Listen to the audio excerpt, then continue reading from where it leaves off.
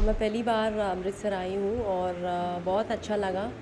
First time golden temple तो दर्शन बहुत अच्छा रहा और ऑफ़ कोर्स वेरी इंटरेस्टिंग बहुत कुछ मैंने सीखा था और मैंने देखा था। तो मतलब लोग भी मुझे बोल रहे थे कि एक्सप्लेन कर रहे थे कि क्या है, इसके हिस्ट्री क्या है, कैसे है।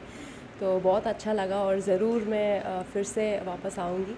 एंड दर्शन भी बहुत अच्छा चला। I think it's very important मतलब पता चलना है कि क्या कर रहे हैं और पेरेंट्स भी उनको बोलना है।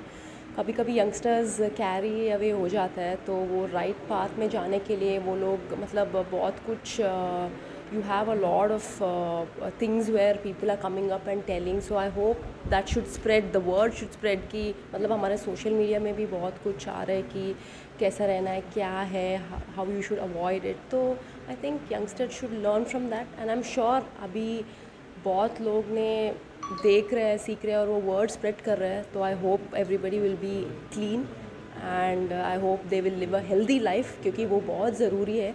आजकल लाइफ uh, में it's very important to stay healthy and be healthy तो इसीलिए मतलब मैं बीइंग एन एथलीट मैं यही बोलना चाह रही हूँ कि हर एक रोज़ कुछ ना कुछ एक्सरसाइज ज़रूर करना है so that you will stay healthy and be healthy